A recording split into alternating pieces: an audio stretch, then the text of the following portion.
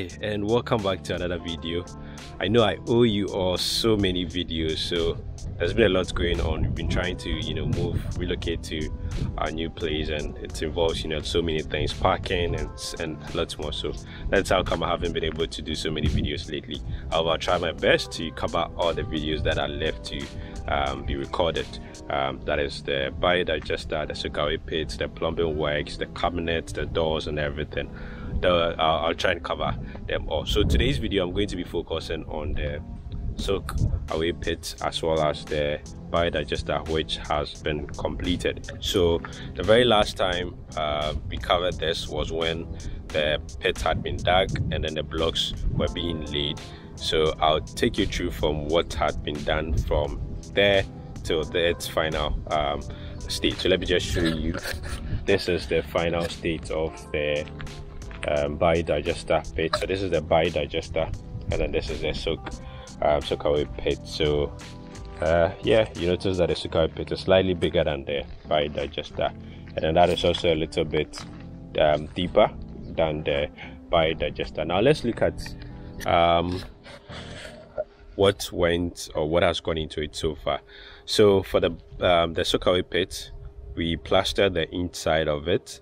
Um, yeah, uh, the down has been concreted or it was concreted before even the blocks they started laying the blocks. So as after that the installation of the pipes to the side which i spoke about in a different video we did the plastering of the inside and then did cast concrete on top. So casting the concrete on top requires you to put some wood underneath or nail some wood and then um, you secure the sides of it put uh, steel in it or iron rods in it. So the size of iron rods we use were 11.5 mm and then we had eight pieces of that. So the steel bender tie that placed it in a form of a mat on top of the wood and then we went ahead to um, cast the concrete. So casting or doing the concrete works we had to leave space in the middle which is going to serve as like an entrance to the hole.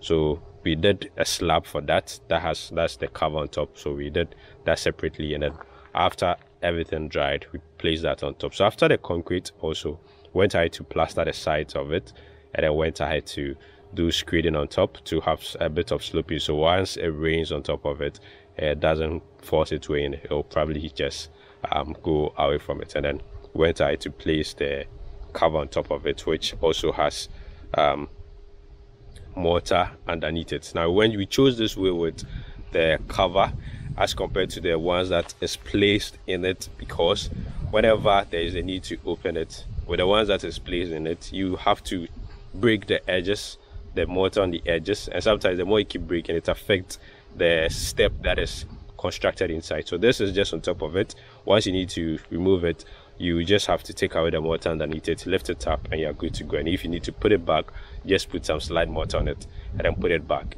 and you're good to go. So that is for the soakaway pit now after that we're tied to also do the biodigester so just as we plastered the inside of the soakaway pit we did same for the biodigester and went ahead to do screeding on the floor on the ground and then directed the sloping into the soakaway pit so the idea is once the sewage into the biodigester it goes through the processes it has to go through the liquid that comes out of it, it directs it into the soakaway pit. And then once the soakaway pit gets to the level of the pipes, it begins sinking into the soil. So that is basically the idea behind that. Now, after the plashing of the biodigester pit, went I to do the slab. So we didn't do concrete on top of the biodigester. Instead, we did slabs on top. So for the slabs, just as we did with the soakaway pits, we used the iron rod mat we tied it in the form of a mat the size that we wanted and then the mason went ahead to do the concrete. So with the biodigester also we installed a clean out. So a clean out is this white let me just show you. This white um, plumbing material which can be opened. So if you need to open it to take a peep it's a bit I, I can unless I need a lot of uh, force to open it. So if you want to open it to take a peep on what's going on um, inside just to make sure things are going the way it has to be. You can just open the ticket peep. And if there's a need to open the entire then you just take away the mortars that are put on the edges and then be able to open it and then do whatever you need to do. So that's what was done. Now let's go ahead to take a look at the processes with the biodigester. So as you noticed um, in some video i did speak about the first layer of block which was put in the side way to be able to get a step once the others were constructed. So that was done in aid of um, once we are putting the materials that we need to be put um, to put on top of uh, the, the, the uh, to, as part of the biodigester process there are materials a couple of materials you put inside before you put in the fiber.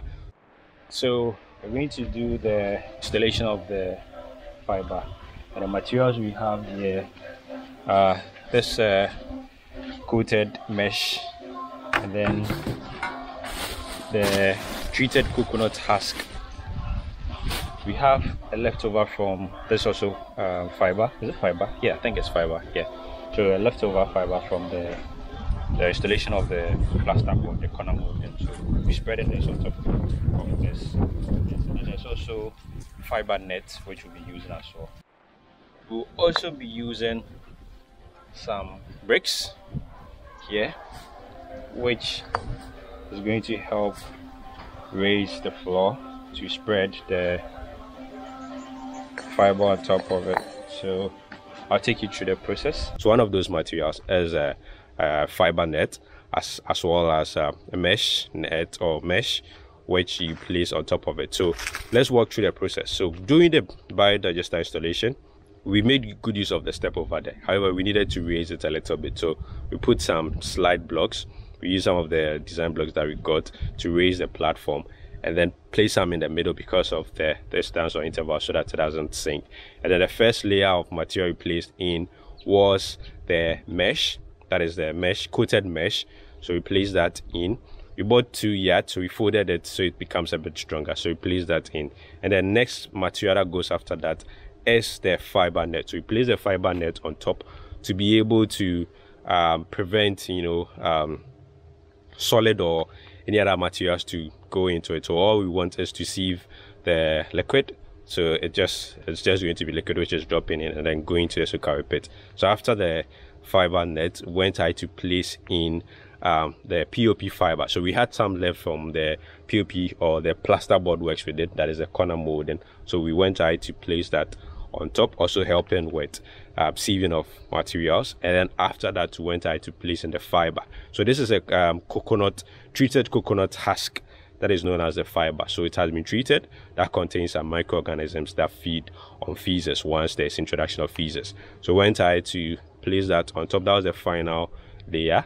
And then as we already had pipes, that is a four inches pipe coming out, which is going to allow the um, sewage from the house into it. And then the three inches or two inches pipe, which is in between the soakaway pit and then the biodigester, that is going to allow water or liquid from the biodigester into the soakaway pit. So after the last layer, which is the treated coconut husk or the fiber, went I to seal the top of the um, biodigester, considering that we had already done the plumbing work. So I'll share with you the plumbing works because it involves a lot or it did involve a lot. So that'll be in a different video. So this is basically talking about the biodigester, completing the biodigester and then soakaway pit. So that's the process we went ahead to, you know, complete this part of the entire uh, project. Now, a few things you need to know with regard to biodigester is that in as much as it saves uh, or it is known to save cost as compared to the traditional um, pit or manhole that is being used,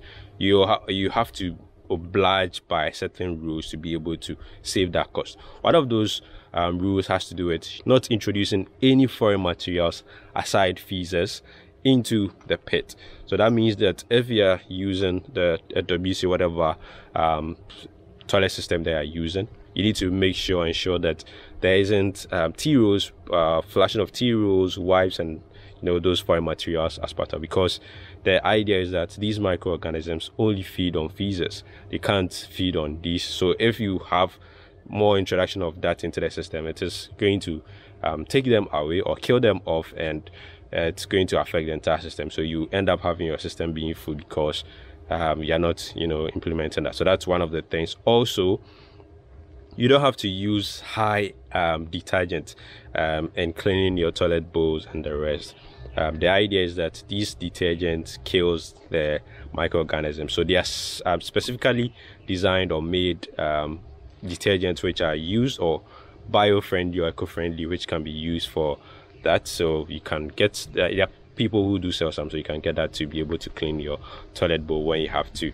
And also you need to make sure that wherever you be constructing the biodigester isn't a waterlogged area. Else you might end up facing challenges of water always finding its way into the system. Too much water causes the whole you know solution to be bogus because it goes out to affect the entire solution.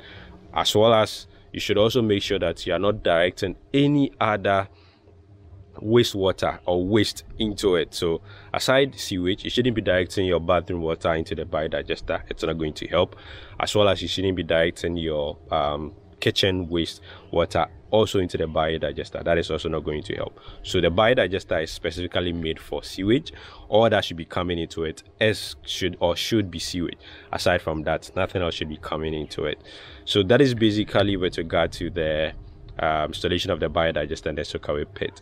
Um, now let's go into the materials, the quantity of materials we use as well as the total cost uh, involved. So the total cost for everything was 4,444 and out of that um, 2,224 went into um, labor sorry went into materials and then 2020 cedis went into labor so the materials we used we used uh, 5 inches blocks about 130 pieces of that we use about um, about eight to ten bags of cement not so sure but that was the range of cement we also use 10 um, waterproof cement the idea or the reason with regard to the waterproof cement was we had some challenges when we started because it had it was raining during this. we were having frequent rains and it ended up getting you know the soil to be very wet which was bringing some soil um, water out of the soil we couldn't wait for a long time so we needed to improvise. That was how come we use waterproof cement to prevent the water from coming into the system. That was during when it was raining so that was the idea with the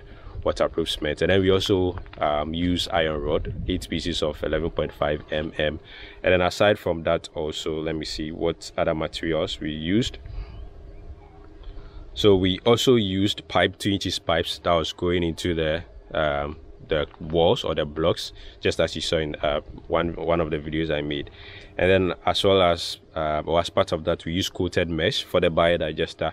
We use fiber net. We use the fiber itself or the cook, uh, treated coconut husk. And then um, POP fiber. That's not mandatory. So that we decided to adapt that to it. So basically these are the materials that we use. For the fiber we use one sack of it. It's mostly best you get more but um, from what I got, it was okay to do the job. So that is um, just about it for this video. In case I haven't tackled anything with regard to this, you can draw my attention to it in the comment section and I'll try my best to cover it or cover more of that in different videos. So I'm going to end this video here and in my next video I may be talking about the plumbing works or maybe the cabinet or the doors. I'm not so sure yet but I'll be talking about one of these and um, in subsequent videos we'll talk about more. And then of course the very final or grand video which will be the overall total and then breakdown of all that went into or that has gone into this project so thank you very much for watching. In case you're new to this channel and you haven't subscribed yet kindly go ahead and hit on the subscribe button and then don't forget to hit on the bell so that anytime i have a video a new video you get to see it so once again my name is ishmael i'll see you in the next one